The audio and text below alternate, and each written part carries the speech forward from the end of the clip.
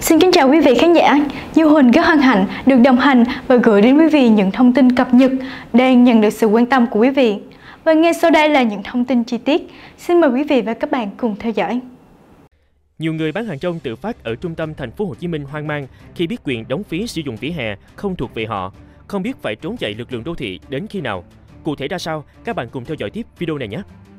Chiều 3 tháng 1, ông Nguyễn Chí Cường, 48 tuổi, ngồi trầm ngâm bên mâm trái cây bán trên đường Phan Chu Trinh, phường Bến Thành, quận Nhất, với khuôn mặt đầy lo lắng khi hay tin những người bán hàng rong tự phát không nằm trong diện được sử dụng vỉa hè trả phí theo quy định của nhà nước. Trước đó, tại kỳ họp Hội đồng nhân dân thành phố Hồ Chí Minh lần thứ 11 khóa 10 diễn ra ngày 19 tháng 9, các đại biểu đã thống nhất thông qua tờ trình về mức thu phí sử dụng tạm thời lòng đường, hè phố trên địa bàn. Theo đó, việc thu phí được áp dụng kể từ ngày 1 tháng 1 2024. Mọi hy vọng có một chỗ bán hàng rong hợp pháp trên vỉa hè trong ông Cường đã vỡ vụn khi hay tin chỉ có những người có nhà đang kinh doanh mới được đăng ký sử dụng thêm phần vỉa hè trước nhà nếu có nhu cầu. Nhiều người bán hàng rong như ông Cường tại khu vực trung tâm thành phố Hồ Chí Minh cũng trong tâm trạng tương tự. Họ hy vọng rồi lại thất vọng. Trao đổi với phóng viên Dân Trí, ông Cường cho biết khi 9 tuổi, ông đã theo mẹ ra bán hàng rong là quầy trái cây cho khách du lịch trên đường Phan Chu Trinh, bên hông chợ Bến Thành. Đến khi mẹ ông già yếu, ông quản gánh hàng rong tiếp tục mưu sinh, lấy vợ rồi nuôi con. Gần 40 năm mưu sinh trên vỉa hè, ông không nhớ đã bị lực lượng đô thị lập bao nhiêu biên bản, đuổi chạy bao lần. Nhưng vì không có nghề, ông đành gắn bám trụ, ngồi một góc vỉa hè tầm 2 mét vuông để bán trái cây cho khách du lịch. Cách đây hơn một tháng, khi nghe tin thành phố Hồ Chí Minh cho phép người dân sử dụng vỉa hè và có đóng một khoản phí theo quy định, ông và vợ vui mừng hơn bao giờ hết. Ông nghĩ mình sẽ không còn cảnh tháo chạy khi thấy lực lượng đô thị nữa và sẽ có một chỗ mưu sinh khi tuổi đã gần qua hơn nửa cuộc đời. Tôi bị lực lượng đô thị đuổi chạy suốt mấy chục năm nên bị bệnh tim luôn rồi, ông Cường nói. Theo ông Cường, khoảng 3 ngày trước, ông mới nắm được quy định chỉ những người có nhà đang kinh doanh mới được đăng ký sử dụng vỉa hè phía trước, phục vụ đúng ngành nghề họ đang làm. Như vậy, ông và hàng nghìn người bán hàng rong khác tiếp tục gặp khó. Tôi bán trái cây ở khu vực gần 40 năm, giờ quy định không có nhà tại đây sẽ không được sử dụng vỉa hè để bán. Vậy tôi biết làm nghề gì để nuôi gia đình bây giờ? Chủ các cơ sở kinh doanh ở đây họ đồng ý cho tôi bán trên vỉa hè. Tôi rất mong nhà nước hỗ trợ cho chúng tôi đóng phí vỉa hè để có chỗ bán ổn định. Giá cao bao nhiêu tôi cũng chấp nhận đóng, ông Cường kiến nghị. Cách đó hơn 100 mét là chỗ bán trái cây của bà Lê Thị Thu Thảo, 45 tuổi, quê Quảng Ngãi, tại góc đường Lê Thánh Tôn, Phan Chu Trinh, quận Nhất. Những ngày này, bà Thảo cũng trong tâm trạng đứng ngồi không yên khi biết mình nằm trong diện không được đóng phí sử dụng vỉa hè. Người phụ nữ này cho biết bà bán trái cây tại góc đường này hơn 20 năm. Bà thực sự hụt hẫng khi biết mình không được sử dụng vỉa hè để bán hàng rong. Bà mong có một chỗ ổn định để kinh doanh và sẵn sàng đóng phí cho nhà nước. Những người có mặt tại đây, họ đã quen với cảnh buôn bán của chúng tôi, họ cũng không thắc mắc gì. Chúng tôi bán hàng rong ở mé sát đường đi, cũng không có trả phí gì đối với những người thuê mặt bằng tại đây. Họ và chúng tôi cộng sinh buôn bán mấy chục năm nay, bà Thảo nói. Tương tự, ông Hùng, 55 tuổi, làm nghề bơm vá xe trên vỉa hè đường Trần Hưng Đạo, phường Cầu Kho, quận Nhất, cũng hoang mang trước việc ông không được phép sử dụng vỉa hè. Ông không biết khi nào chính sách thu phí sử dụng vỉa hè có hiệu lực. Lực lượng đô thị có quyết liệt xử lý nghiêm với những người như ông không? Bạn thấy những ý kiến trên như thế nào? Hãy chia sẻ ý kiến của bạn ở dưới video để mọi người cùng biết nhé! Phần tiếp theo của video sẽ mang đến cho bạn những thông tin thú vị khác mà bạn không nên bỏ lỡ. Các bạn hãy cùng nhau xem tiếp video để biết đó là gì nhé! Khi hay tin những người kinh doanh được quyền đóng phí sử dụng vỉa hè để mở rộng việc làm ăn, đa số người dân tại khu vực trung tâm thành phố Hồ Chí Minh đều đồng tình ủng hộ. Tuy nhiên, họ mong muốn nếu nhà nước thu phí sử dụng vỉa hè thì phải làm cho vỉa hè đẹp lên và minh bạch mọi thứ. Ông Hưng, 58 tuổi, chủ một cơ sở kinh doanh trên đường Trần Hưng Đạo, phường Cầu Kho, quận Nhất cho biết, nếu nhà nước thu phí vỉa hè, người dân ủng hộ nhưng phải làm hợp lý.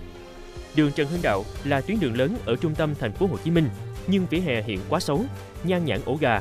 Mấy chục năm qua, vỉa hè đường này qua khu vực phường Cầu Kho không thấy ai làm. Một số người không chịu được cảnh xuống cấp phải tự bỏ tiền túi ra tu sửa, mà giờ lại đi thu phí sử dụng. Theo ông Hưng, vỉa hè phải đẹp mới cho người dân thuê, đóng phí để sử dụng. Anh muốn cho thuê xe, trước tiên phải sơn sửa cho phương tiện này đẹp đã. Giá cao cũng không sao, vỉa hè cũng tương tự như vậy. Vỉa hè ở tỉnh nào tôi không nói, đằng này là khu trung tâm thành phố Hồ Chí Minh. Khách nước ngoài đi lại nhiều mà tôi thấy xuống cấp quá.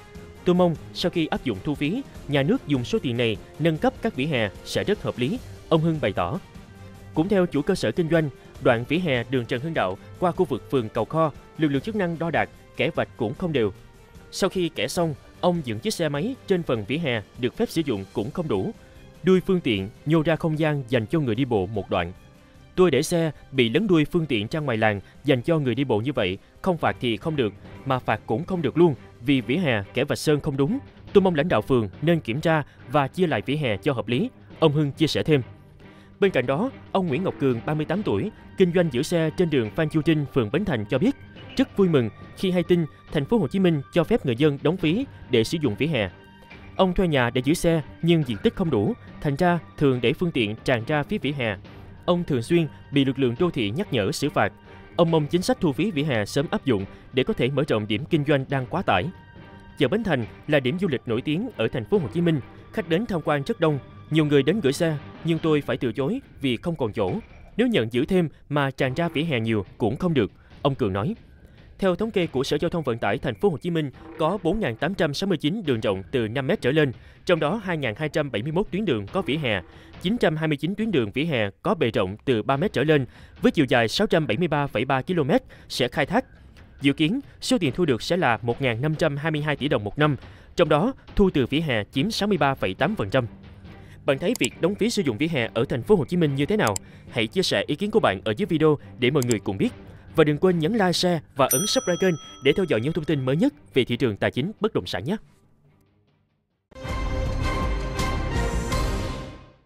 Thành phố dự kiến cho sử dụng một phần vỉa hè, lòng đường làm điểm giữ xe, kinh doanh, có thu phí với mức từ 20 đến 350 000 đồng mỗi mét vuông từ đầu năm 2024.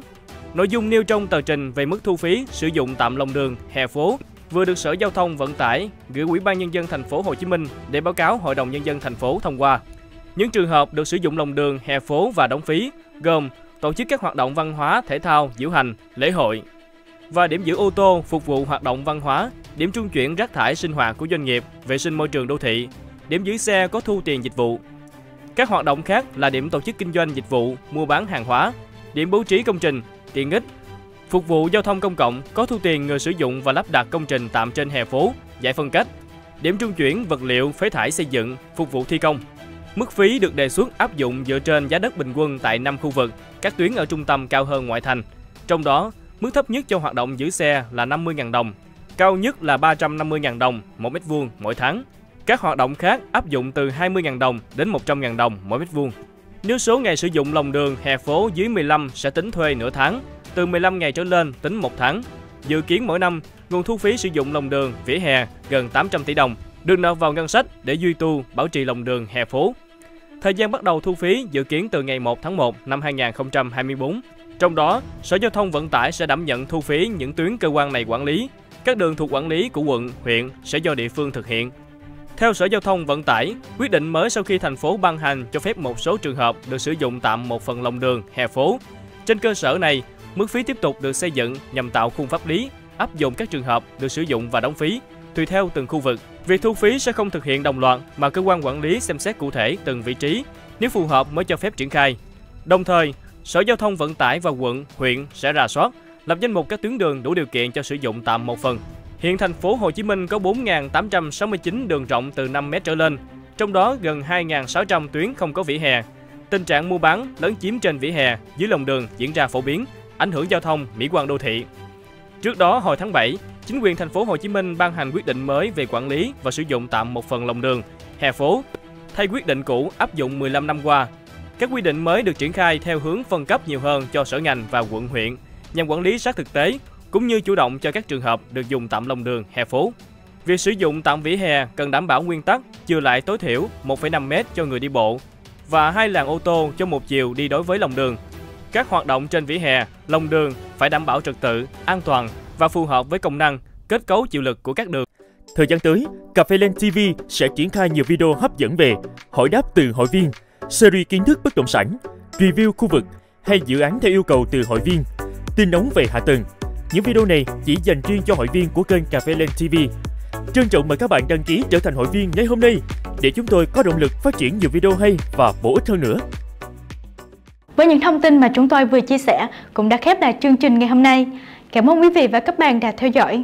Và đừng quên nhấn like, share và đăng ký kênh để cập nhật nhiều tin tức về kinh tế, tài chính, thị trường bất động sản bạn nhé. Và bây giờ xin chào và hẹn gặp lại.